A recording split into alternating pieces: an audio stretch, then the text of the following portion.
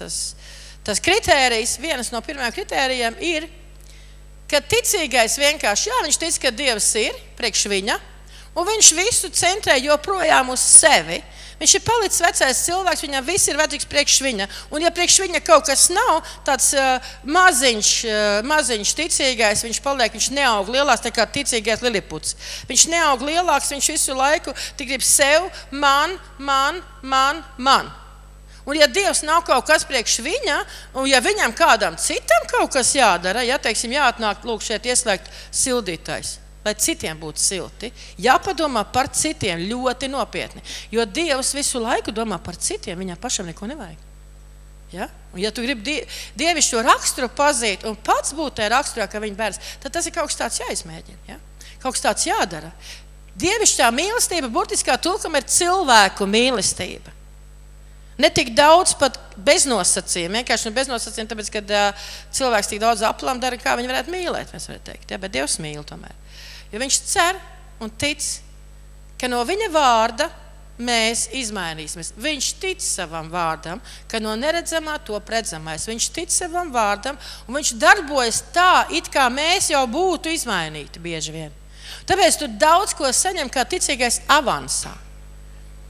Bet tev ir jāsaprot, ka, viņš, ka tev pienāk laiks, ka tev arī ir jāiet, tev jākļūst līdzīgam viņam, tev jāpārtop. Un tad, kad tu pārtopi, tad tu sāc darīt nevis to, ko tu gribi sev, bet to, ko Dievs grib, lai tu izdarītu citam. Bet šis process ir ļoti interesants, ja tu to sāksi. Ja tu lūgsi svētam garam, kam man jāpalīdz, pie kā man iet, tu redzēsi, kā svētais gars sāks darboties. Kāds gara dāvana, tu sāksi dzirdēt, tu sāksi noprast, nojaust, tu sāksi izjust otru. Ja? Tas ir, tas ir brīnišķīgi. Ja? Un, uh, par ticību tad, tad vēlreiz. Ticība ir stipra paļaušanās uz to, kas cerams.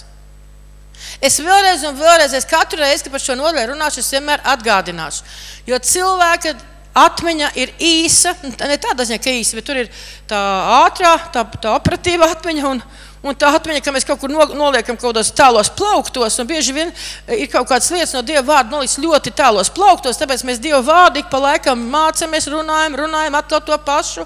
Un nekad nenolicini atkal izlasīt kaut ko vēlreiz un vēlreiz, un dzirdēt atkal kaut ko. Tāpēc, kad, uh, lai tu dzīvotu Dieva vārdā, lai tu dzīvotu no Dieva vārda, tas ir vajadzīgs. Tad ticība, ticība, kas ir? Tā ir paļaušanās, tas ir darbības vārds. Paļaušanās uz ko? Uz cerību. Paļaušanās mēs runājam, ka tas ir, ka tu ļaujies kaut kam, kaut kam notikt, tu ļaujies. Uz paļaušanās uz cerību. Kas ir cerība? Mēs sakām, cerības stariņš parasti. Ja? Nu tā. Tas nozīmē aptuveni to, kas pats, kas slīkstot ķerties pie salmiņa. Nu, nereāls lietas, principā. Ja? Tu tā kā gribētu, ka tas būtu, bet tas nav. Ja? Un tu pat nezini, vai tas būs. Tu neesi pārliecināts, ka tas būs. Bet tajā pašā laikā Teikam, otrā daļa ir, ir pārliecība uz neredzamām lietām. Ja tu, ja, tu, ja tu paļaujies uz cerību, tad tu varēsi arī, tad tu būsi pārliecināts par neredzamām lietām. Un te tālāk ir teikts, kā tā ticība, tas ir kaut kas tāds, es tāpēc saku, da, bieži vien mums gribās tā, tagad man vajag, tagad Dievs es tev palos, tagad man vajag.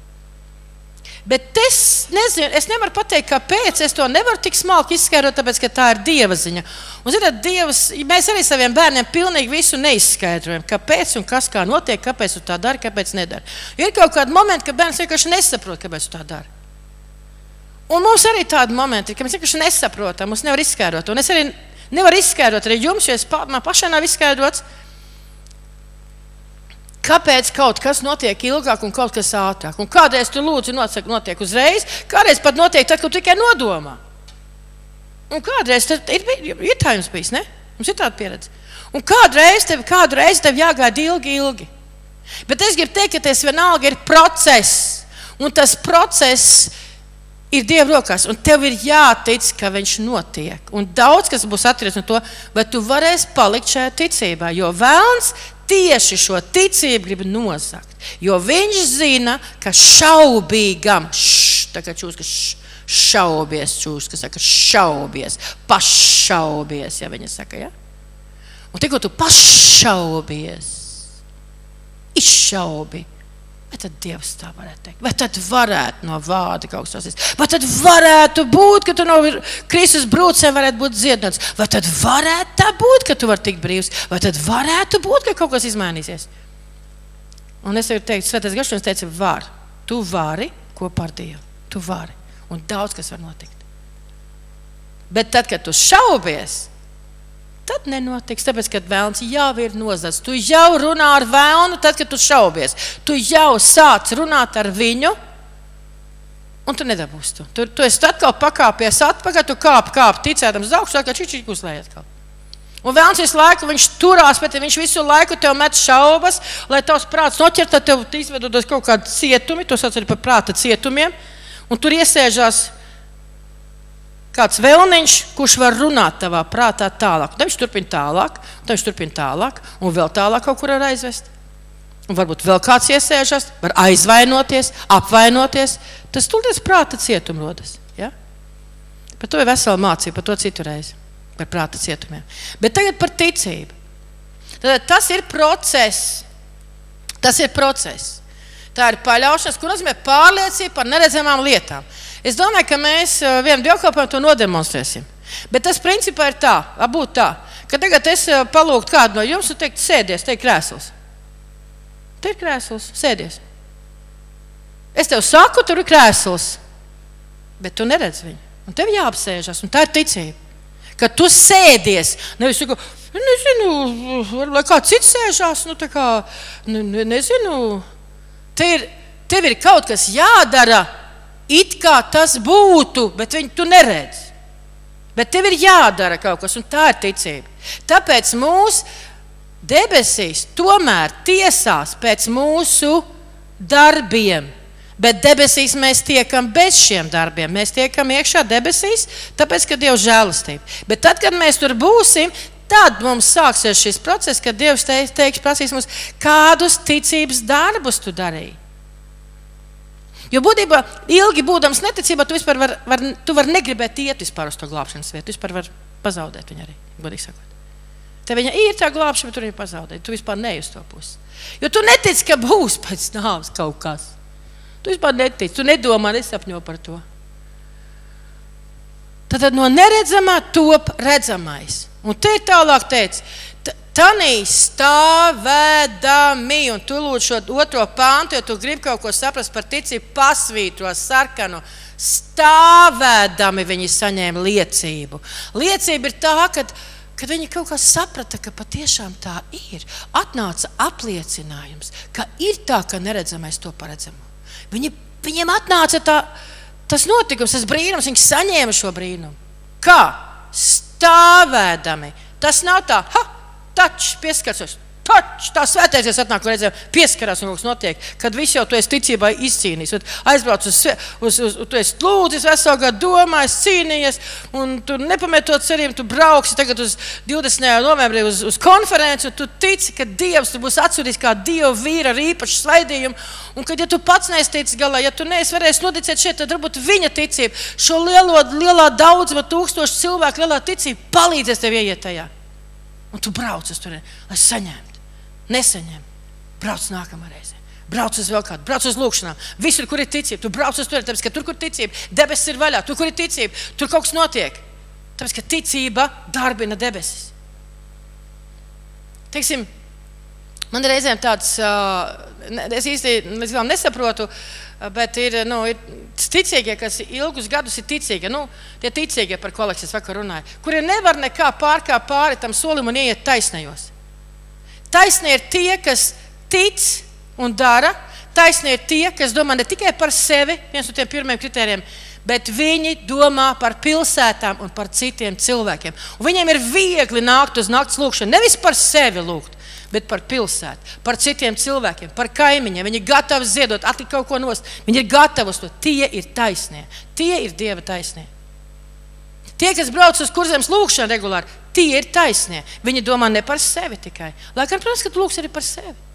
Un bieži vien ir tā, ka tu lūdz par citiem, ka tu dari kaut ko priekš citiem, un atnāk tieši tev, tieši tava atbilde. Tas ir neizskaidrojami, bet tā ir. Tāpēc, ka taisnajiem ir daudz apsolījumu, kuri sāk piepildīties. Un viss. taisnie. Bieži vien ir tā, ka šis ticīgais ir ilgu, ilgu laiku ticīgais, bet viņš tomēr nenotic, ka te ir teikts Malahijā, ka tavas desmitās tiesas un tava pienesuma atver debesis. Es nezinu, ko tas ticīgais domā, bet viņš tam netic. Jo, ja viņš ticētu, viņš skrieš uz skriet ar desmito tiesu, saprot? Tāpēc, kad viņš saprot, ka debesis ir vaļā. Viņš saprot, ka tad, kad debesis ir vaļā, tad tēva roka viegli var iedot. Tad tēva roka viegli var pasargāt. Es nevaru. Nu, bet Dievs saka, tu vari. vari. Pamēģini izdarīt to, ko tu neredzi. Viens no, tiem, viens no tām, no tām lietām, teiksim, lūkšana mēlēs. Lūkšana mēlēs. Tu nesaproti, ko tu dari. Tu nedzirdi, kas tas ir. Tu nevari saprast, kas tas ir. Un tev liekas, muļķīgi tas ir. Bet Dievvvārdā ir teikts, ka tu teici to kungu svētajā garā. Tā tad, tajā brīdī, kad tu to dari, tev vajadzētu par to padomāt. Ka tu to dari, un tas ir ticības akts. Kāpēc būtu jāiet kristīties? Ieliek kaut kādā ūdenī. Es redzēju, te Makārēnko cietumā, cietumniekus e, vannā kristīt. Tur gan bija bijuši smieklīgi, tāpēc, ka viņi tajā vannā tie veči garāk pa to vannu, un tā viņus tur nevar saprast, kuru galu pa priekšu kristīt. Viņi tur tās kājas ir garākas, un tur, tur viss smieklīgi. Tad tur atkal kaut kur viņi Sibīrijā āliņģī kristīt cilvēks, kuri gribēja āliņģī. Aiz, aiz rokām ielēja āliņģi un izrāva laukā, jā, divi lieli veči. Nu, Cilvēks āliņš ieskristīties, nu, ne, nevis tas, kurš tam, kuram nav ko darīt. Ja? Viņš grib Kristu, viņš grib mainīt savu dzīvi. Tur kaut kas ir īpašs. Saprot. Viņš saprot, ka tas ir, kristi, tas ir akts kaut kāds starp debesīm un viņu. Kad kaut kas patiešām viņš tic, ka tas neredzamais notiks. Tas ir neredzams. Kas top, top, kāpēc par to iet runa? Tāpēc, ka vārds, mēs pasakām vārdu. Ziniet, kā mēs savus bērnus izaudzinām neticīgus? Pirmais, kas notiek. Kad mums ir pārāk mīksts, mēs sakām, tu dabūsi, ja tu šo darīsi vēl, tu dabūsi pa dibenu. Bet viņš, viņš izdara vēl piecas reizes, un kā nedabū, tā nedabū. Tāpēc, ka man te kaut kas ir, es noķeru pie rokas uzreiz. Man pasaka, kāpēc neklaus? Kāpēc neklaus? Ja? Un, ja vēlreiz darīs, es labāk pagaidām nesaku, jo, ja es pateikšu, es izdarīšu. Mani puikas zināja, es runāju vienreiz, pēc tam otrreiz, un trešā reizē es vairs nerunāju. Trešā reizē ir pa kaklu. Kas par rokai gadās? Un nedodies, ka tas būtu malks pagalu. Tā arī gadījies, diemžēl. Bet pēc tam viņi vienalga man mīl, vai ne? Un ir kas pateikuši paldies par to, ka es esmu viņus klopējis. Jo viņi nevarēja sevi savaldīt. Tāpēc tici Dieva vārdam. Rīkstes ir domāts bērniem, kurus mēs mīlam. Un ļoti interesanti, es vakar dzirdēju vienu, vienu sarunu, mums bija viena. Un izrādās, ka no, es tā domāju, ka nu, kādreiz mums notiek kaut kādi notikumi, un arī citas draudzes cilvēki šeit tiek uzaicināti. Un, uh, izrādās, ka uz, es skatos, ka kaut kādu laiku, kādus divus gadus jau te viena ģimene, kur nu, viņa nenāk, es skatos, viņas vairs neredzu šeit. Ja? Un es tā kaut kā, nu, es tā īpaši nebiju tā vispār domājusi neko par to, kāpēc nenāk un kā. Bet man tagad viens cilvēks, vakar mēs tur dažādas draudzes satikāmies, viens cilvēks man saka, ka nenāk tāpēc, ka šim vienam no bērniem, kurš faktiski ļoti tā, izlaists. Ja? Un, un, ne, tas jau būtu tā, ka tas bērns mājās neklausās. Nu, ir tā, ka tos vecākus viņi neklausās reizēm. Tur vecākiem kaut kāds mīkstas sirds, jau ir slimojis vai kā. Tad ir tāda muļķīga, tāda, tāda humāna mīlestība parādās, kas faktiski bērnam nāk par ļaunu. Un, uh, tad, ir, tad es saku, ja gribu, lai izmainās, tad, tad teiksim, ja viņš būs šeit, tad ir jāļauj mainīt. Teiksim, mums ir bijuši visādi. Ir māmas, kuras ļauj mainīt citiem savus bērnus, un ir, kuras kā karavīri stājas pretim lieliem briesmoņiem. Un šeit uh, tas bērns uzvedies ir neadekvāti. Un mūsu svētdienas skolotāji vai kas ir aizrādījuši? Un bija tāda pasaka saruna, un to bērnu nu, nolikuši pie vietas. Bērns, protams, ir pasūdzējies, un no tā laika šie vecāki vairs savu, savu eņģelīti vairs nekur neved. Bet, zinot, kamēr šim bērnam ir nav vēl 11 gadu, nu vēl tā, bet tad, kad viņam būs 11 gadu jau, kad tāds eņģelīts nevaldāms, nekur nevar savākties, ja? pat dievnamā, viņam nevar vecāki iestāstīt, ka te tā nevajag. Ja? Nu, tas ir traki, es pat teiktu tā. Gudri būtu vest uz dievnamiem un savam bērnam iemācīt uzvesties kaut kur. Tāpat tās, kā bērns ir jāved uz kultūras namiem, jāved uz pasākumiem, kāpēc? Un jāiemāc uzvesties. Nevar tā kā mājās tikai tā kā mežā dzīvot. Ja? Jādzīvot savādāk. Ticība, tad tev jābūt šai ticībai, vārds tiek pateikts, un bērnam jāsaka, ticiet, ka tas notiks. Un Dievs ir, ja viņš saka, Dievs saka, tā jābūt tēvam un mātēm. Pasaki vārdu, būs. Ja tu nezini, vai tu to izdarīsi, tad labāk pagaidām nesaki. Izdomā, vai paklusē, vai kā, nezinu. Bet tu saki, tad izdara to. Man, man tā mācīja mamma savā laikā. Viņa toreiz vēl nebija ticīga. Viņa saka, ka nevajag tos puikas tev vienmēr tur, tur tā kaut kā. Viņa saka, ja tu, ja tu ņem viņus, tad ritīgi. Tā kā atcerās. Vai ne, Baiba? Toreiz augus pie manas mammas. Arī meitenes, nu, viņas tās meitenes mūs tā pažēloja, viņš ar, ar trauklu pat mums zinās pakaļ. Baibai arī mums arī māsa. Bet mēs labi izaugam beigās. Mēs, daudz, mēs vārdam daudz klausījām, jo bija respekts. Ticībā mēs saprotam, kas ir tas pamats tai ticībai. Ticībā mēs saprotam, vai tā kā uzzinām, vai tā kā saprotam, ja, ka pasaule ir radīta Dieva vārda spēkā. Ka no neredzamā radies redzamais. Pārdomā šo pantu. Visas šīs ticības pamatā ir šī zināšana, un ka tu viņu pieņem sevi, jo citādi tu nevari noticēt, ka no vārda kaut kas radīsies. Jā, tā tavā dzīvē arī. Ja tu nevari noticēt, ka pasaule ir radusies no vārda, Nevis tur evolūcijas ceļā. Tāpēc šis Darvina piedāvātais šitai, šitas, šitas, tas, tas ceļš, ja, attīstība, ja, tā pilnīgi atcīt cilvēku no ticības. Viņam ļoti grūti iet šajā ticībā. Nevis pamazām kaut kas, bet viņš pateica un tapa. Lai gan šodien zinātnieki pēta, akmenis sastāv, uzbūvē zemi un visu, un saprot, ka, ka tas nevarēja rasties pamazām. Viņš ir kaut kā radies uzreiz. Ja mēs tam varam noticēt, tad mēs arī ticēsim, ka, ka pieņemot Jēzu Kristu par savu kungu vārdiski šādi, ja, mēs būsim debesīs. Notiks šīs reālās lietas. Kad ja vārdā ir teikts, Kristus brūcēs, es esmu dziedināts. Un, ja tu to runāsi uz sevi un tu teiksi pats sev, es esmu Kristus brūcēs, dziedināts, viņš, viņš atnāks, notiksies. Kad tu teiksi, eh, nespējā, tu teiksi, es esmu stiprs. Tas ir ticības akts. Es, tev galīgi nav spēka, tu gulēji pie zemes. Kas tev jāsaka sev ir pēc Bībeles? Es esmu stiprs. Es esmu, jo viņš teiks, lai visi nespējā esošie pasaka, es esmu stiprs. Es esmu stiprs, es esmu stiprs, es visu varu. Tā spēkā, kas mani mīlēs. Es visu varu, tā spēkā, kas mani dara stipru. Kas mani dara stipru? Kristus. Ticība Kristum. Un šeit ir 14 reizes minēts, var pastīt pa tā sarkanu 4. pantā, 5. pantā. 7, 8, 9, 11, tā, 17., 20., 21., 22., 23., 24., 27., 28., 30., 31. ir pateikts, vārds skan ticības spēkā. Ticības spēkā. Kas ir ticībai šādai, ka tu kaut ko dari?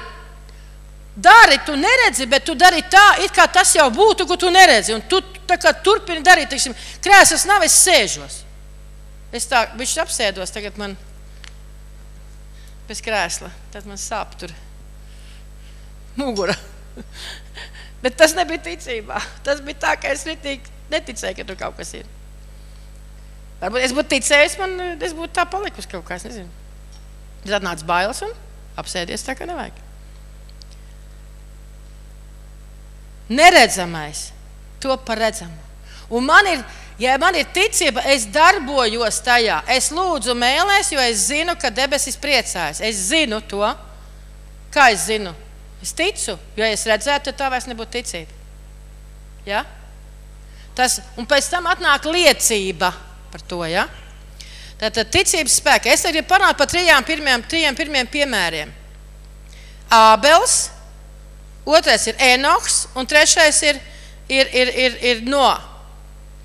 Tad Ābels nesis dievam labāku upuru nekā Kains. Tās dēļ par viņu liecināts, ir liecināts, ka viņš ir taisns. ka Dievs par viņa dāvanām ir liecinājis, kā Dievs par viņa dāvanām ir liecinājis, tās dēļ viņš vēl runā, kaut ir miris. Tad šis spēks ir kaut kas vienreizējs. Atveram pirmā mūzes grāmatu. Kas tur ir teikts? Otrā nodaļa, nē, trešā nodaļa. Nē, ceturtā nodaļa. Tad Ādams atzina ievu, savu sievu, un tā tapa grūta un dzemdēja kainu. Sacīdams, es grūtībās esmu saņēmusi dēlu ar dieva palīdzību. Un viņa pēc tam dzemdēja arī brāli Ābelu. Tad Ābels bija otrais. Un Ābels kļuva avju gans, bet Kains kļuva zemkopis. Pēc kāda laika Kains nesa no zemes augļiem upuri tam kungam, un arī Ābels nesa upuri no, no avju pirmdzimtiem. No tiem, kas viņam bija tie treknākie. Un tas, un tas kungs skatījās uz ābeli un viņa dāvanām ar lapatiku. Es nevaru saprast, visi cilvēki tev ir projām, vai kur viņi sēž tagad? Man pēkšņi tāds jautājums. Varētu aiziet apskatīties kāds. Bija tur aiziet pasaucīgs. Kur viņi ir?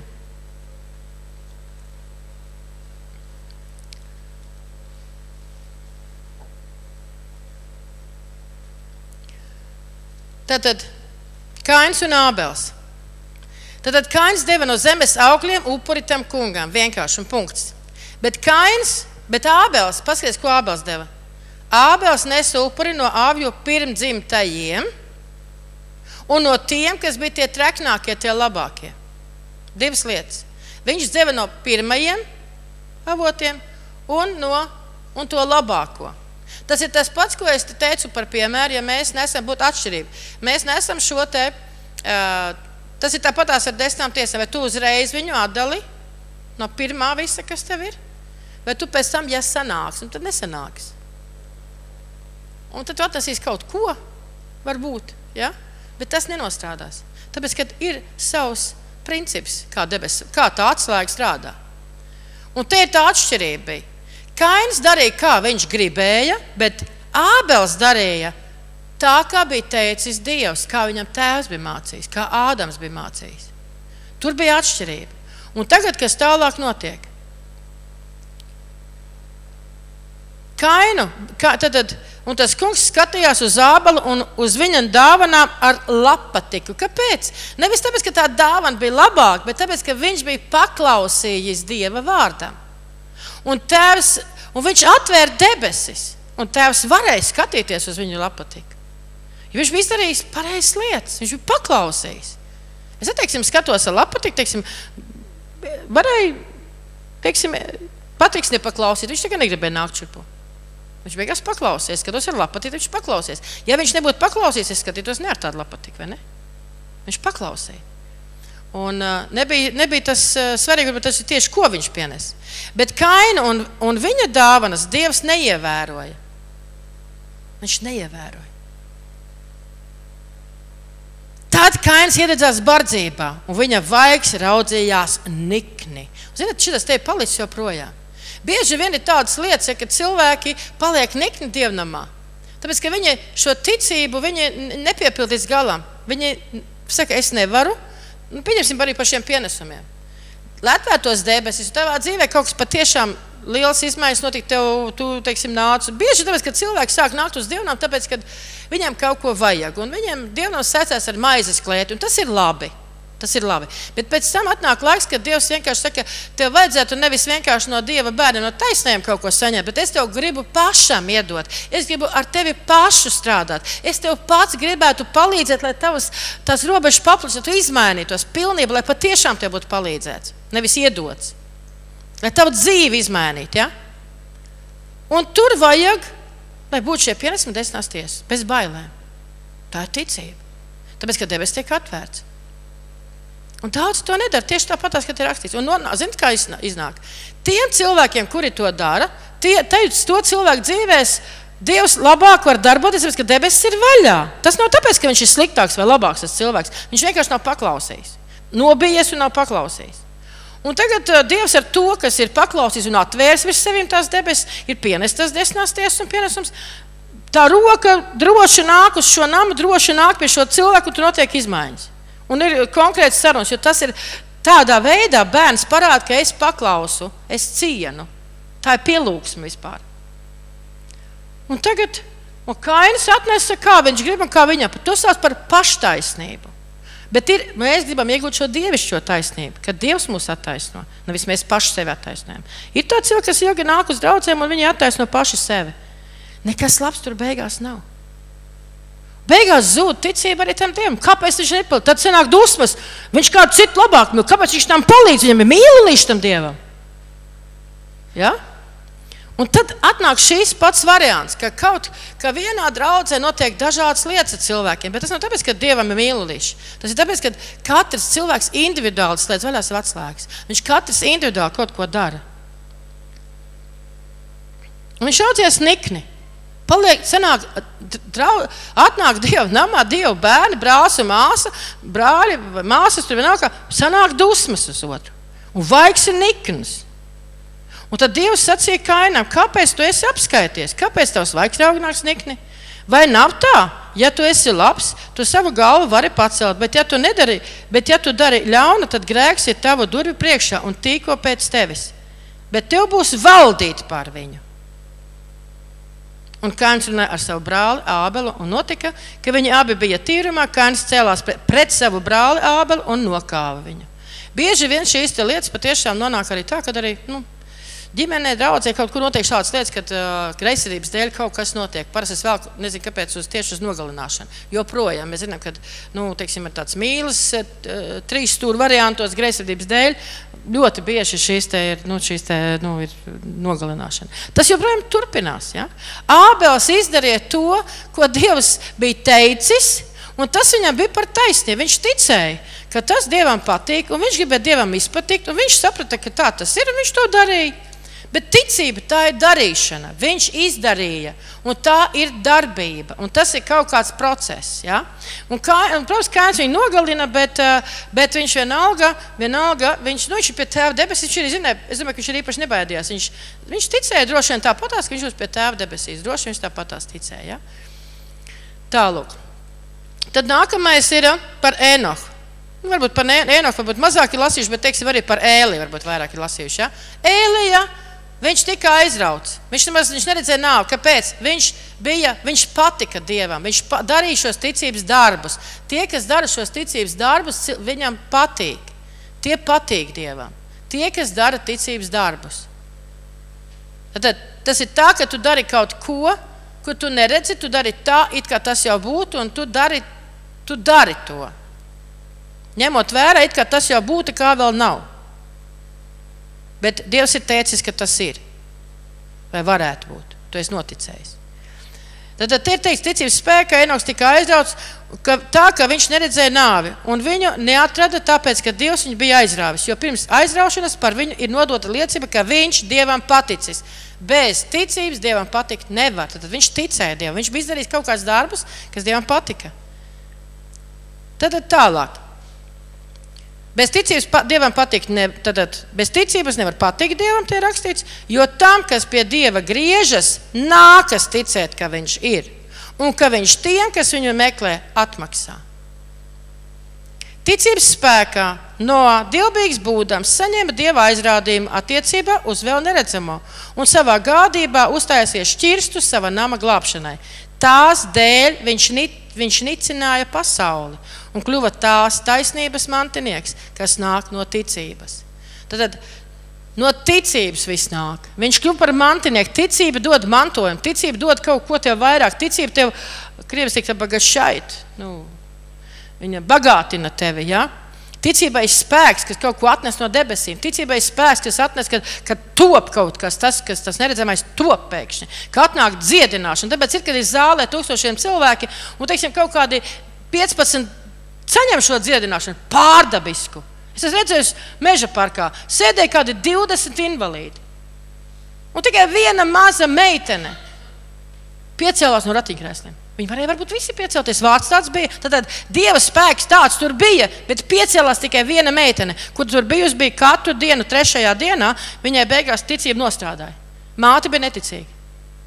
Es redzēju, kā tas notiek. Māte raudāja histērija, viņa nebija ticīga. Ja?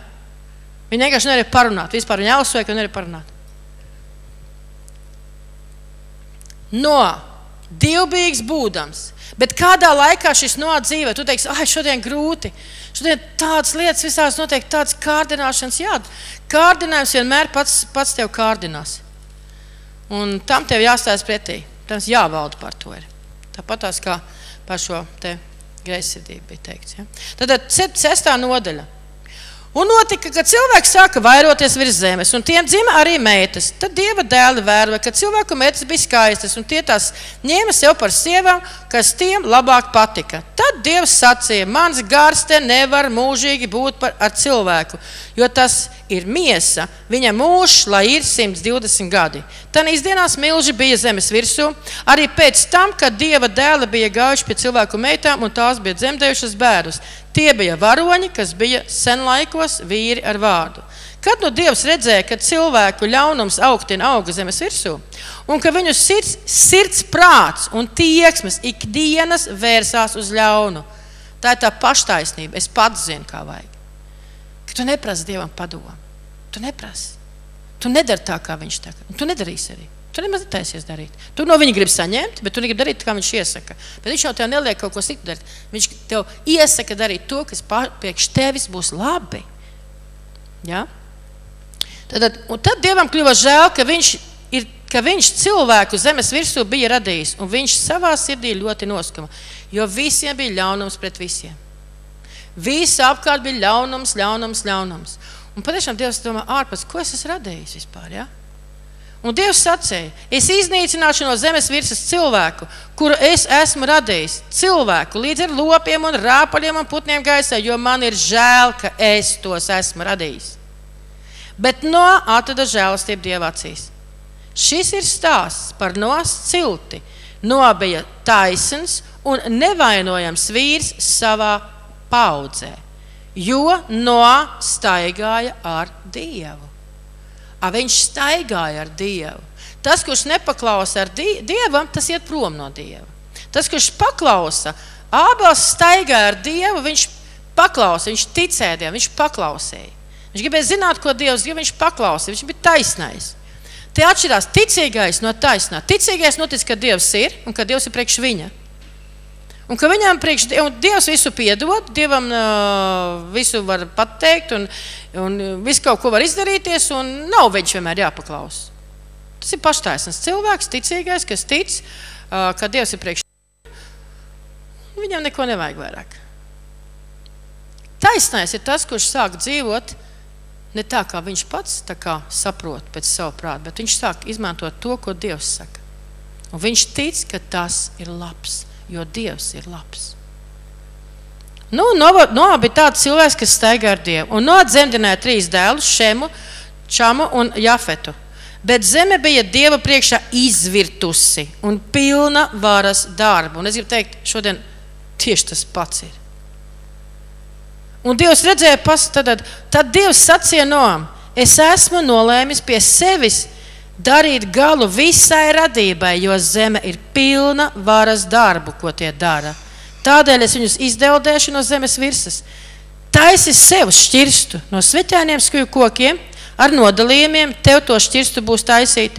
Un no iekšpuses un no ārpuses tev to būs izstiept ar darbu. darbu. Lūk, kādu tev būs taisīt. Nu, tur tie garumi, platumi. Ja?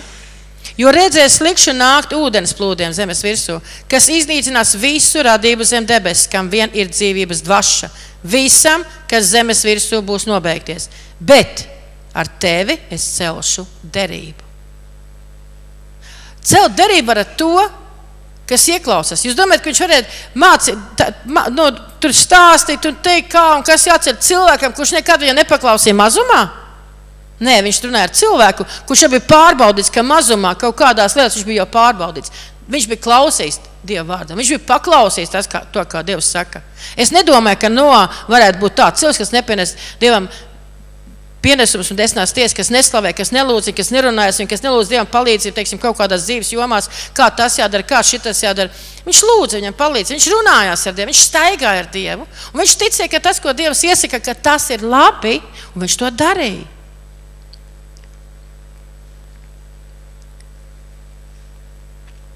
Un viņš saka, tev būs paņemts šķirstā no visiem tiem dzīvniekiem, ja viņš jāpaņem līdzi, tad ir savas, savi dēli un dēlu sievas, jā, un tam līdz. Tad savu tā cilts jāpaņem līdzi, jā. Tātad no putniem tur no pēc visas kārtas jāpaņem visādiem šiem, te, šiem te dzīvniekiem. Bet ar tevi, tas mēs neteiksim, bet ar tevi es celšu darību, tu iesi šķirstā, tu, tavi dēli, tava sieva, tavas dēlu sievas līdz ar tevi. Šis arī ir laiks, kad vajadzētu celt šķirstu.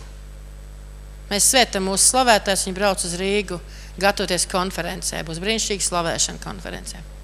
Visas Latvijas slavētāji kopīgi slavēs.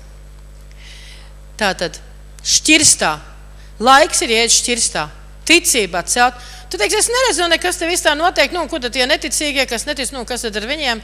Nu, jautājums nedomā tik daudz par viņiem, domā par sevi. Šī jautājumā domā par sevi, par savu glābšanu, bet ja tu glābsies no dzimtas, ja tu glābsies, un ja tu staigāsi Dieva, di, ar Dievu kopā, tu turpinās staigāt, tu ieklausīsies, ko Viņš saka, tu darīsi tā, tad arī viss tavs nams būs glābts. Jo tas ir kā šķirsts. Dievs tev mācīs, tāpat kā Noā viņš te teica. Jum, tam, tad, tad viņš saka, lūk, kādam būs tev to taisīt garumā 300 olektis un platumā 50, bet augstumā 30 olektis.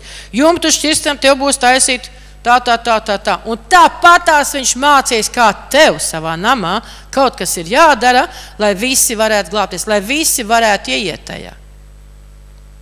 Un tur es jau pateikšu, tur būs daudz lietas. Tur būs arī, ka tu prasīsi atdošanu dē, vīram, dēlam, mātei, vīrmātei, sievas mātei. Tur būs, ka tu nožēlos kaut ko. Tur būs, ka tu lūgs par tiem, kas tev dara pāri. Tur būs, tur būs tā, ka tu pieņems lēmumu, ka tu, ka tu piedos tiem, kas tev nezina, ko ir izdarījuši. Tāpēc, ka Dievs tā tev pateiks, un tu darīsi. Ko tā var? Var. Tāpēc, ka es visu varu tajā spēkā, kas man dara stipru. Tāpēc, ka manā nespējā mans Dievs man nāk palīdzīgā. Tāpēc, ka manā nespējā viņa spēks varens parādās. Es iešu un darīšu. Teiks, ja tiesas priekšā nedomā, neuztraucies, svētais gars tev palīdzēs. Tu būsi gatavs iz kaut kur iet. Kāpēc? Tāpēc, ka tu ej ar Dievu un Dievs staigā ar tevi. Un viņi stāvēdami šādā ticībā no cēla šo, viņš cēla, viņš stāvēja šajā ticībā simts gadus. Tas nebija ticība. Ha, pieskaries, taču! Nē, tas nebija tā. Simts gadus par viņu ņirgājās. Simts gadus viņš nicināja pasauli. Viņš ātrāk, ka to bija sācis darīt, tad citādi Dievs nebūtu viņam iemācījis, nebūtu runājis ar viņu.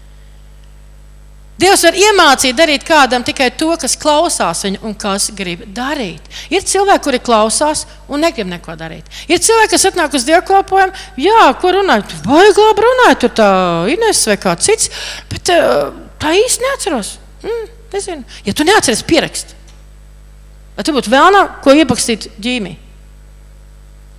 Šodien ir tāds vārds, un es ar šo vārdu dzīvoju. Es varu visu tai spēku, kas man dara stipru. Ticība ir process, taisnošanas process. Un, ja man šodien kaut kas momentā nenotiek, man ir dots laiks to izdarīt. Vēl. Ja? Es varu sākt to darīt. Es varu sākt to darīt. Tur ir vēl kaut kur pa tiem gadiem. Viņiem bija ļoti daudz gadu nomu. Un tas kungs sacīja no mums, ej, šķirstā tu un viss tavs nams, 7. nodaļa. Jo es esmu vērojis, Kāpēc viņš ļāva, tad varēja uzcelt, bet vai vēl jāieiet tajā šķirstābī? Un viņš tagad, tajā momentā, kad nu viss ir uzcelts, viņam bija laiks, tur, kamēr viņu iznirgā, izsmēja. Iedomājieties, tajā laikā nebija lietus. Nebija lietus tajā laikā. Pasaule bija tā, kā viņa bija tādā kupolā, un tur bija tā kā mikroklimats, tā kā tādā siltumnīcā. Tāpēc nebija lietus. Un, un, un, un, un tagad Dievs saka, būs lietus. Viņš droši vien prasīja, kāda tas ir. Nu, būs ļoti daudz ūdens. Un visu, ah, kas ir, ka daudz ūdens ir? Viņam, viņam, bija, viņam bija jāatcer tas šķirsts, nesaprotot, ko nozīmē plūdi. Un kāpēc tas vispār jādara? Ir? Un kāpēc šitā jādara? Viņš visu klausīja. Bet visi, zinat, kā visi ņirgājās. Un šodien arī par kristiešiem. Ko tu tur repeši, kam tu tur pasi? Destoties, tu galīgi dumšais. Ja? Bet uh, tā ir nu, šķirta celšana. Tas, kurš ir dabūjis šo liecību, ka tad, kad tu dod desmito tiesu, tu nezini kādā veidā, bet tu kaut kā izdzīvo. Kā tas notiek, nevar saprast. Tikko tu kādu mēnesi nedod, tā tu dabū, tu centies, tu peries, tu ņemies. Tā kā, caur, tā kā viss ar pirkstiem aiziet, nevar saprast, kur paliek. Nu, ja katra šķirsta dzīvnieku paņem sev lietas, un tur viņš teica septiņas un tam līdzīgi, ir sestajā pantē teikts, piektajā teikts, un nodarīja visu, kā tas kungs to bija sacījis. Jautājums, ko šodien tev kungs saka? Šai momentā, kad es to runāju. Es nerunāju sev, tas ir katram no mums tagad. Kaut ko katram Dievs runā, lai. Jo viņš grib kopā ar tevi celt derību. Viņš grib kopā ar tevi šo dzimtu tavu glābt. Tu esi šeit, lai tava dzimta glābtos, ne tikai tu pats. Bet tu vari padomāt tikai par sevi, protams. Bet vari sākt domāt, kā taisnais par savu dzimtu, par saviem kaimiņiem, par saviem darba biedriem, par pilsētu, par vēl par kaut ko. Un tu sāksi kalpot. Ar vienu to, ka tu lūgsi, bet tu vari arī kalpot arī savādāk. Tu vari atnākt uz zupas sirtu, pamizot kartupeļus, pieteikties, nevis lai tevi meklē, vai izvārīt zupu vai kaut kā. Mēs kalpojam viņam, mēs kalpojam tautai. Mēs cenšamies. Tāpat tās mēs kalpojam šos operetes mākslinieks 89, laikam, pabarojām. No sākuma es domāju, ka būs 8, nu 10, nu tā kā. Izrādās, ka 80, nevis 8, 10. Zini, kā ventiņiem novelk vienu to, to galotnīti nost, iznāk 80 vai 80. Tā īsti nesapratu. Piekritu. Beigās izrādījās 80. Bet, uh, bet jauks bija pasākums. Viņi mums atkal iedod desmit biļetes tiem, kas to darīja. Viņi iepriecina cilvēkus, mēs iepriecinām viņus. Un izrādījās, ka šī vadītāja kristieta Man atnāca jauks, jauka īziņa ar pateicību un, un svētību visiem tiem, kas, kas palīdzēja. Viņa teica, lai Dievs visus svētī. Ja? Tātad nodarīja visu, kas, tā, kā tas kungs to bija sacījis. Un no bija 600 gadus vecs, kad ūdens budis sākās zemes virsū. Pirms tam tur arī kaut kas bija. Viņš 100 gadus aptuveni tur pār pa 500, kad viņš sāka celt. Ah, te teikts, 32. pantā, 5. un teica, un Noā bija 500 gadu vecs, kad viņš bija dzemdinājis Šamu, Jafetu un tam līdzīgi, un pēc tam viņam lika celt. Ja? Tad, tad 500 gados viņam pateica to, viņš jau 500 gadus tur bija ar Dievu kaut kā staigājis, kaut ko darījis, Dievs viņam saka uzsēties, un pēc tam 100 gadus viņam lika šo īpašo lietu celt, šo šķirstu. Bet tas nebija tā, ka uzreiz. Ja?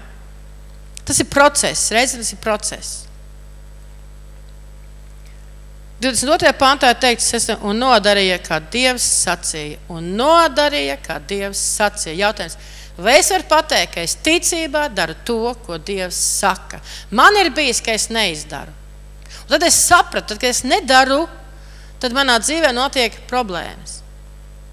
Un labi ir, ka tad, kad es nožēloju tajā momentā, kad tomēr Dievs pavērsa visu uz labu, un ka es varēju tikt laukā no vēl lielākam briesmām. Man tas jāatzīst, tas tā ir.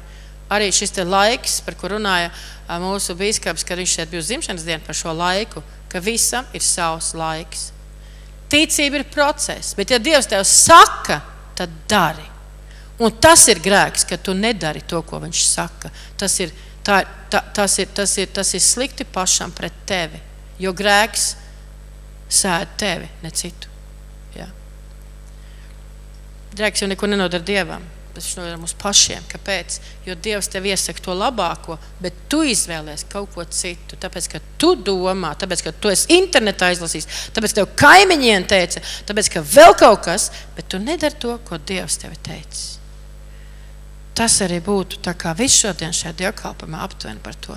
Bet, nu, vēl pašā beigās es gribu izlasīt. Tad, tad, no, šiem, šo, no, šīs, no šīs ticības evaņģēlija, var teikt, no vēstules ebrejiem, ko Pāvils rakstījis. Viņš te vienu nodaļu iepriekš, tajā desmitā nodaļā saka, uh, saka 23. pāntā, turēsimies nešaubīgi pie cerības apliecības, jo uzticams ir tas, kas apsolījis. Apliecini šo. Tad, kad tu daudz teiksi, tu daudz runāsi, Teiksim, tu vari pateikt, es kādreiz, man kādreiz jaunieši prasīja, kā var, nu, kā, kā, kā var sajust, nu, kā atnāk svētais gars, kā tas notiek. Kā tas notiek?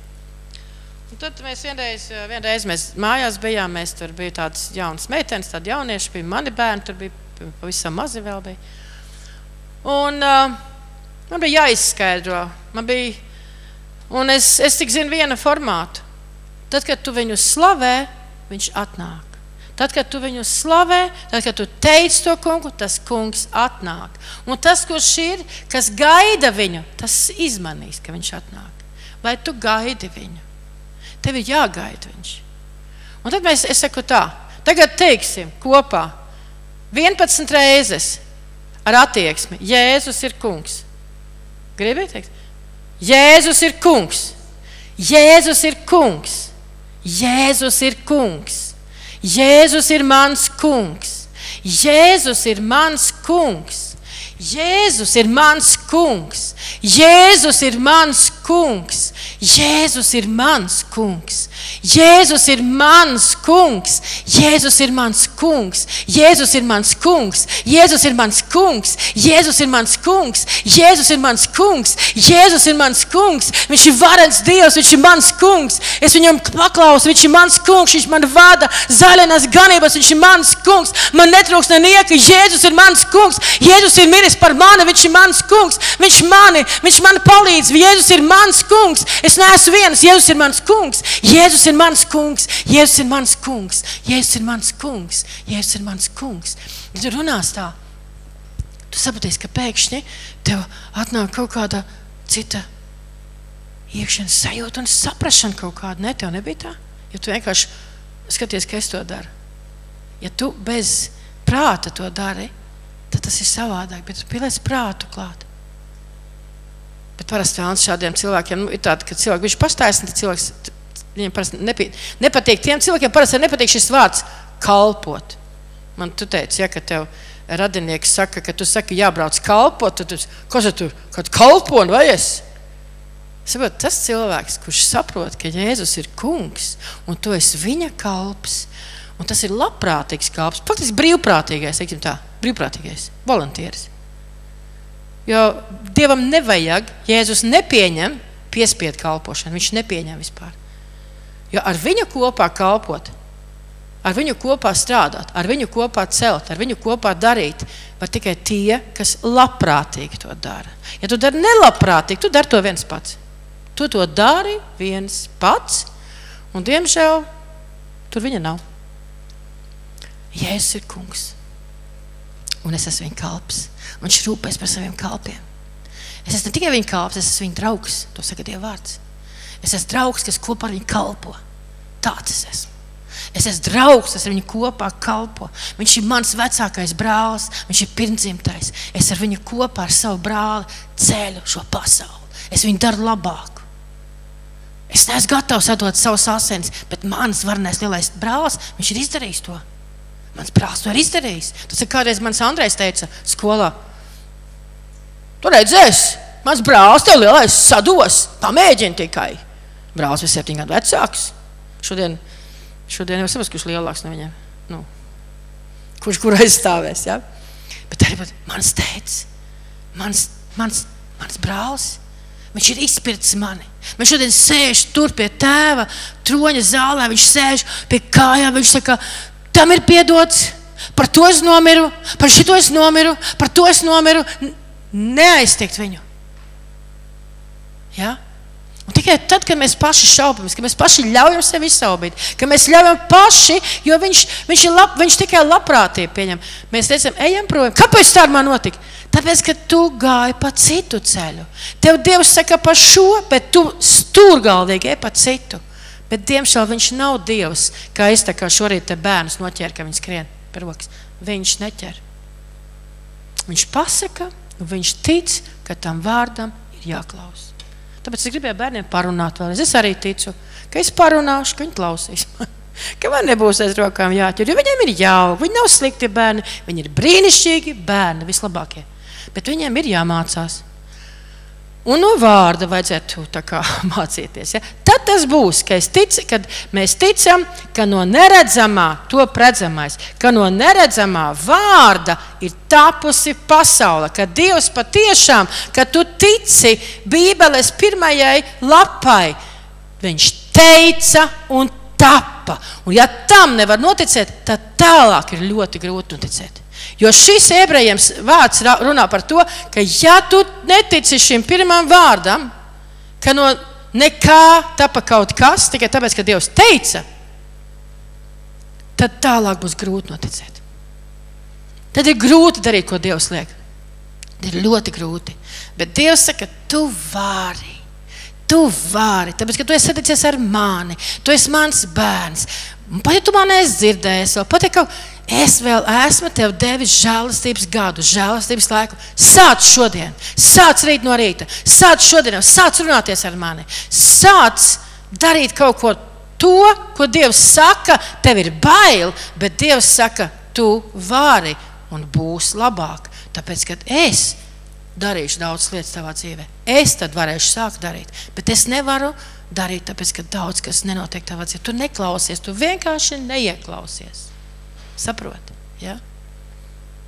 Mēs brīžam, nu, kaut kur kaut kādus gadus esam kopā ar Dievu, tad tāds ir bijis lūkšanas kaut kāds, un tu gribēji, lai tas notiek, un viņš nav noticis. Un tad tev tā, tā kā ticība krītās, vēlams nāk un izšauba. Tajā brīdī tev ir jāturas. Tas, tas kā šeit, kā Pāvils teica tajā, tajā nodaļā, tāpat blakām, ko es teicu tajā, tajā desmitā nodaļā, kad 23. pantā, te teikts, Vēros, tad 26. turēsimies nešaubīgi pie cerības apliecības, jo uzticams ir tas, kas apsolījis. Apliecini to, ko tu izlasīji. Apliecini uz to, ko tu gribētu cerēt. Runā uz to. Es esmu stiprs, es esmu stiprs, es esmu stiprs, es esmu stiprs. Jo nespēcīgiem teikt, ir es esmu stiprs. Ja? Un vērosim, un vērosim citu. citu. Nu, pavērosim, teiksim, Aiga dara vai nedara. Pavērsim, Aldiņa dara vai nedara šo. Nē, tā tu nav teikts.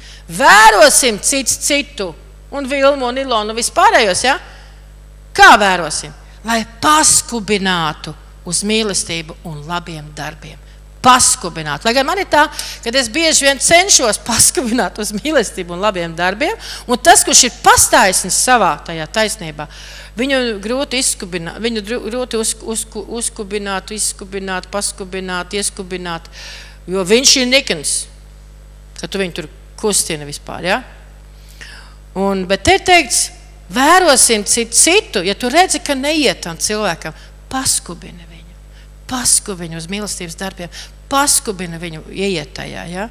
Kas ir mīlestība un labie darbi? Tie tie, ko Dievs tev liek darīt, celt šo šo, šo, šo šķirstu vai vēl kaut ko. Vai, saku, mums tur ir bijis no dieva šis vārds, ka mums jātaisa virtuve, zupas virtuve, un tā ir kalpošanas vieta. Un tālāk ir teikts, neatstādami, kādā veidā turēsimies nešaubīgi. Neatstādami savas sapulces, kā daži paraduši, bet citu citu paskubinādami uz to, jo vairāk redzot, tuvojamies to dienu, to ļauno dienu. Paskubināsim citu citu. Būt sapulcēs, kāpēc? Jo šeit runā Dievs. Nevis Inese, nevis mikrofons, bet šeit runā Dievs. Tu esi Dievs, Inese. Nē, es neesmu Dievs. Bet es cenšos dzirdēt, ko viņš liek runāt traucē. Es cenšos to dzirdēt, un es zinu, ka šis vārds ne tikai citiem, bet tas pirmām kārtām ir man pašai. Dievs ceļ manu ticību. Tāpēc es runāšu diezgan ilgu laiku par ticību. Un mēs daudzkārt par šo runāsim. Kāpēc? Jo, ja nav ticības, tev grūti noturēties taisnam būt. Tāpēc, ka Dievs tev taisno, bet pēc tam ir jāturās pie tā citu, citu jāpaskubina, un es jūs un sevi skubināšu. Tāpēc es zinu, ka ir laiks, kad mums jāsāk atvērties gara dāvanām. Lai viņas atvērtos, tev ir jāgrib kalpot citam. Tev ir jākļūst nevis ticīgam, bet taisnajam. Jo šīs dāvanas un šīs gara dāvanas atvērsies taisnajiem. Un tas ir laiks, kad ir Nevis man patīk, es nevaru, man nepatīk šis draugs, man patīk šitais. Ja tas, kas ir draudzē saistīts, ir ir Dieva vārdā pateikts. Es tev paskubinātu mīlēt to un darīt. Un tu uzcelsi šo šķirstu. Un tu redzēsi, Nu, kad labi, ka tas šis. Es nedomāju, ka es nezinu, vispār nevaru saprast, ko īsti domāja tas no ar to ģimeni, kad viņi bija tajā šķirstā. Iedomājieties, kā viņi tur valstī pa to jūru. Vētra bija. Ko viņi tur domāja? Kas ar viņiem notiek?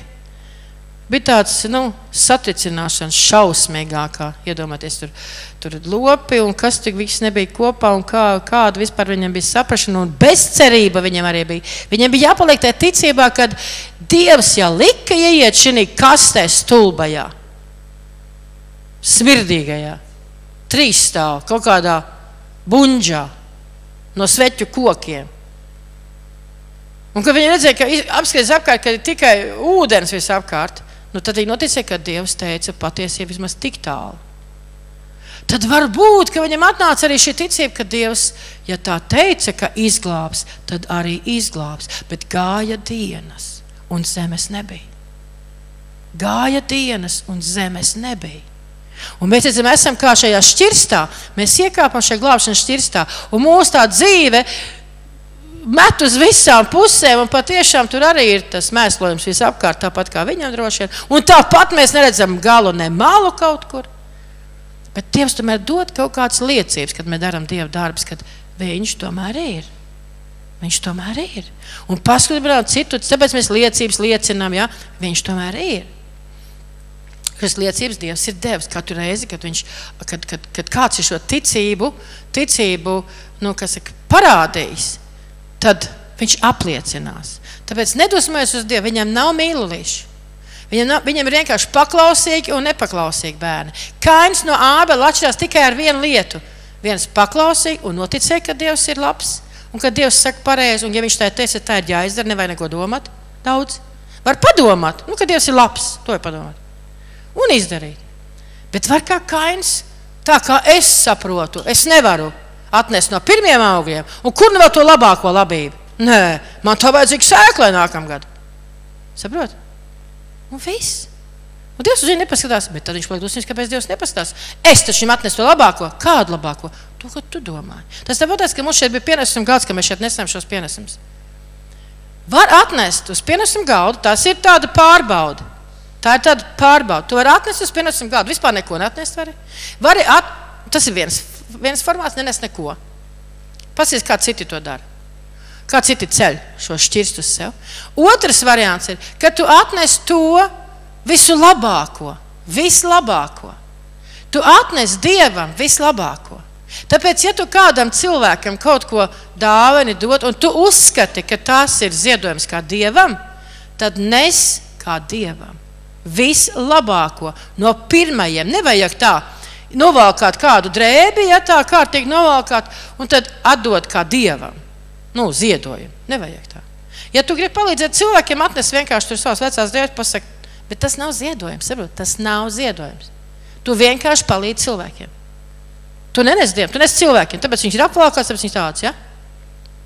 Vai tu nes kā dievam, tad nopērc jaunu.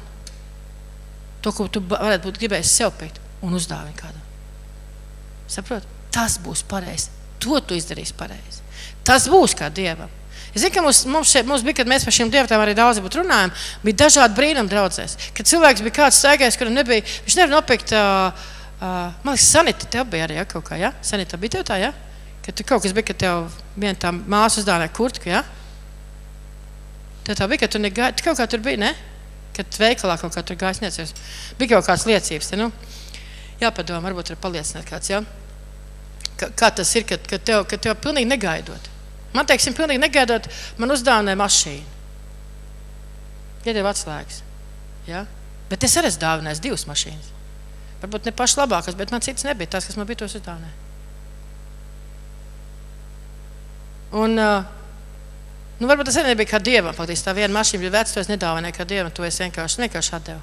Tāpēc, ka, nu, Tā es sapratu, ka Dievs liek atdot. Bet tas nebija ziedojums Dievam. Tas vienkārši ziedojums bija konkrēti reprezentam. Bet tad, kad tu Dievam nesi, tad atnes labāko. Ja tu esi novācis savas ražas no savā lauciņā, kaut kādas gurķīšu, tomātiņas, vai tu esi cepis, teiksim, pīrādziņas, lai atnes uz, uz ziedojumu šeit, tad atlasi pašus labākos. Saproti? Nes kā Dievam. Un tu redzēsi Dieva darbu tavā dzīvē. Bet, ja tu, ja tu izturies pret Dievu kā pret kā kaut kādu, tur, nezinu, kādu labēšanas kombināciju, tad tur tāds svalki, nu, kur atnes, ko nevajag. Tas tāpat tās ir. Reizēm es skatos, ka arī cilvēki tā izturās atnes uz Dievu, un to, ko vairs mājās nevajag. Nopērk pašu kaut ko jaunu, tad nes kaut ko vecu. Ja tu tas vienkārši kā palīdzību, tas ir normāli. Bet tu nes Dievam, tad nenes tā. Tad savādāk dara. Ja? Tur ir atšķirība. Dievs saka, pirmo un labāko atnes man, un nebaidies. Ja tu tā darīsi, tad tev daudz būs. Ja tu iesēji debesu valstībā, tev daudz būs tā labā, tev daudz būs tā, kā, ko tu esi iesējis. Iesēs slikto, sliktais radīsies. Netiks nekad ārā no tā. Ja? Tās ir tie tādi principi vienkārši. Es ļoti gribētu, ka mēs ieiet tajā labajā dzīvē, ko Dievs ir apsolījis. Es tāpēc par to šodien runāju. Es gribētu, lai mēs ielecam tajā vilcienā, lai mēs ielecam tajā šķirstos, lai mēs ieejam tajā, mums būtu īpaša dzīve. Lai mēs būtu tie cilvēki, kur pēdējos laikos cilvēki uz ielām ķersies klāt un teiks, klausies, es arī gribu tādu dievu kā tu esi. Kāpēc viņi tā teiks? Tāpēc, ka tu varēsi pateikt, tu zini, kaimiņiem, tur, tu, tu, teiksim, tu varēsi pateikt viņai kaut ko priekšā, kā viņai jādara, vai nādara. Tu varēsi pateikt kaut ko Teiksim, tu liks rokas, cilvēks dziedināsies. Tu paies garām tikai, un uh, kur mums pagājis garām, tur kaut kas notiks labs. Saprotiet, tā kā Pāvēlam ir ēna.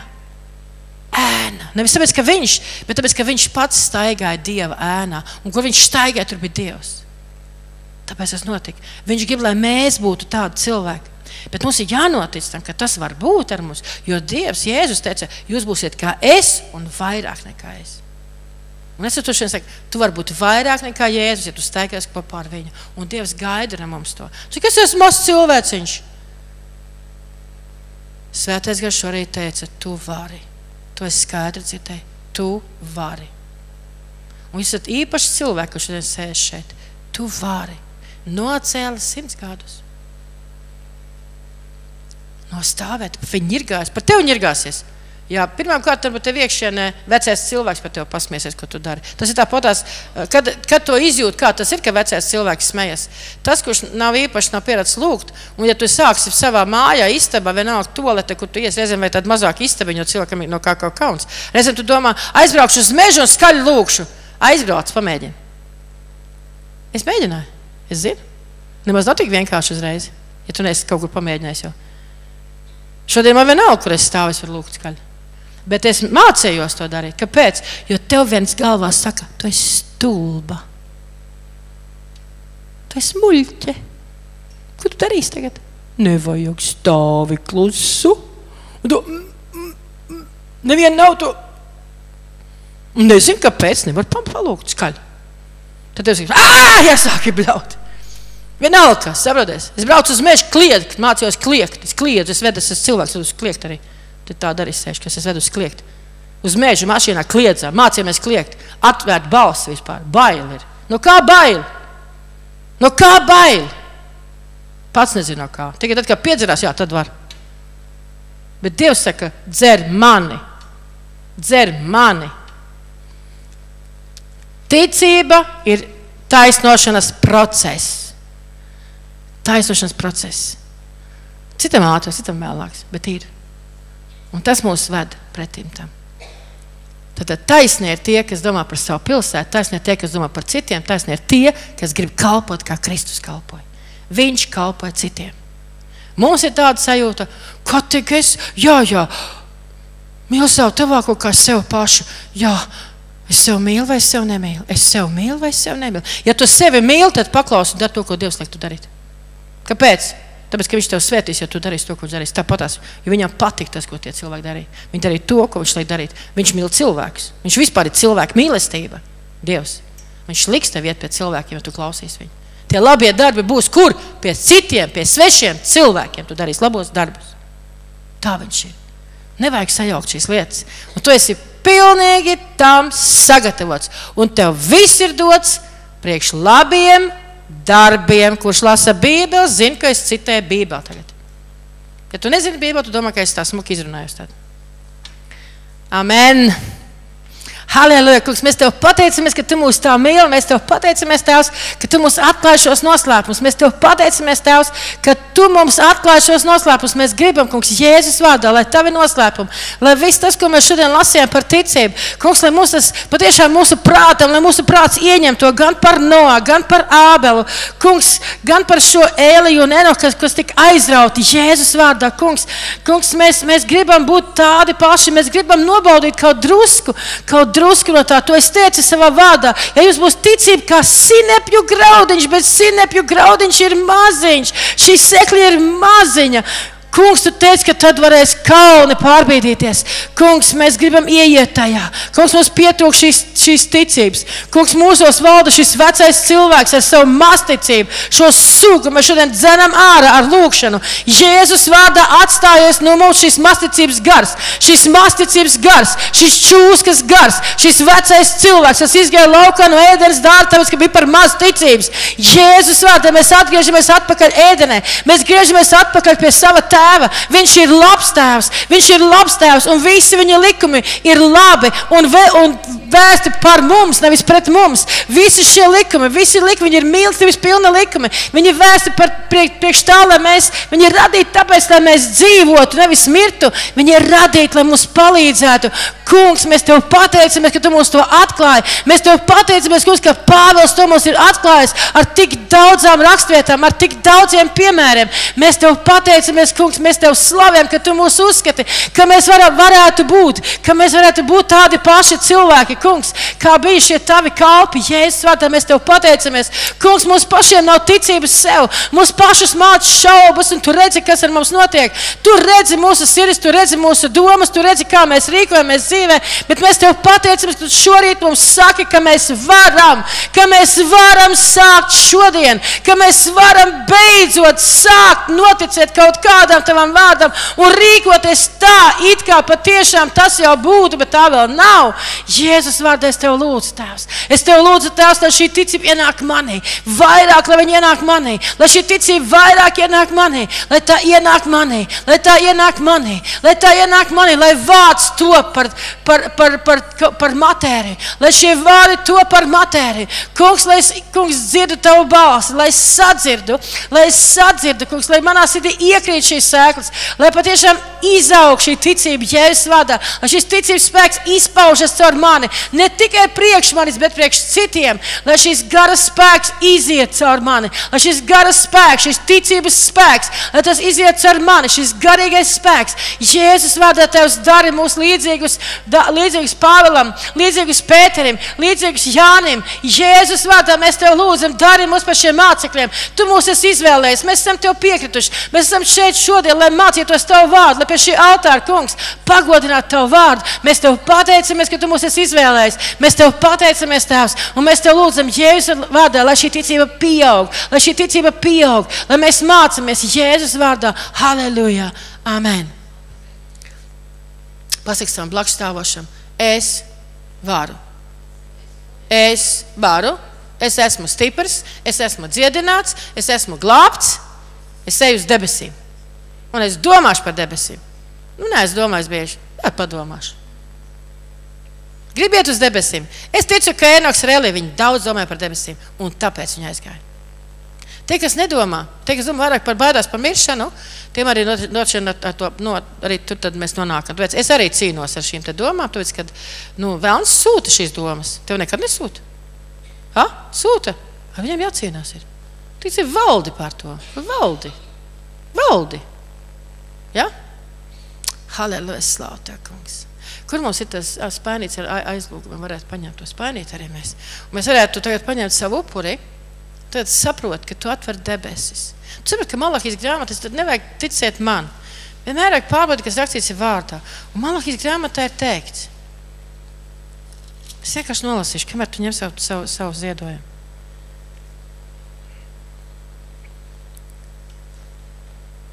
Bet atnesiet katrs savu desmito tiesu pilnā vērtību manā klētī, tā, lai arī manā mājā būtu barība. Pārbaudiet, tad mani šai ziņā, paldies Tev, jā. Šai ziņā.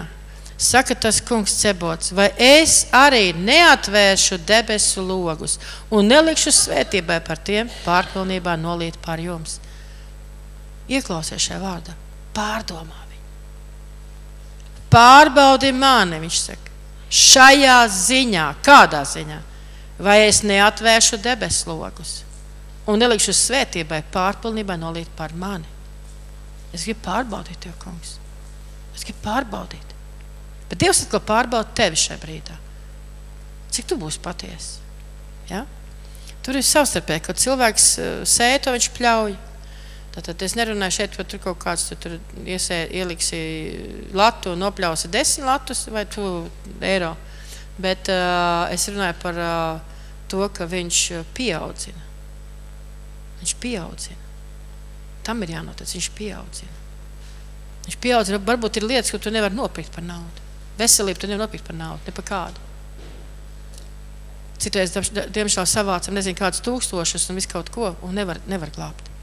Bet Dievs var atvērt debesu logus un izstiept savu roku. Un tava ticība dos šo spēku Dieva žēlastībai nonākt līdz tevim. Tas ir ticības spēkā, ka tu notici, ka tas neredzamais var aizsniegt tevi. Tas ir ļoti intīmi, tas ir ļoti individuāli. Un tur kopā un cits tavā vietā neko nevar izdarīt. Mēs varam paskubināt, mēs varam palīdzēt, mēs varam uzrunāt, mēs varam motivēt, mēs varam teikt vārdu, mēs varam lūgt, mēs varam pat laiku, bet tavā vietā pa īstam to izdarīt nevar neviens. Tā tas ir. Tā kā ņem savas, savu, savu ziedojumu, ņem savu ziedojumu un uh, tici tam kungam. Šis ir īpašs laiks, kad viņš grib, lai mēs kaut ko mainām savā dzīvē. Šis ir īpašs laiks.